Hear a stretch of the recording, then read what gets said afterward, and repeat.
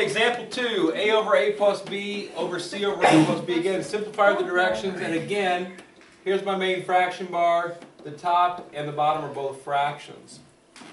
This time the fraction denominators are um, binomials a plus b, but again, they're exactly the same. a plus b, a plus b, both denominators exactly the same. So the least common denominator is a plus b. And again, it's just basically multiplying top and bottom of the fraction by the same thing, so multiplying by 1 in essence. Um, when I do a over a plus b times a plus b, a top a plus b and a bottom a plus b cancel, leaving me with a. A top a plus b and a bottom a plus b cancel, leaving me with c.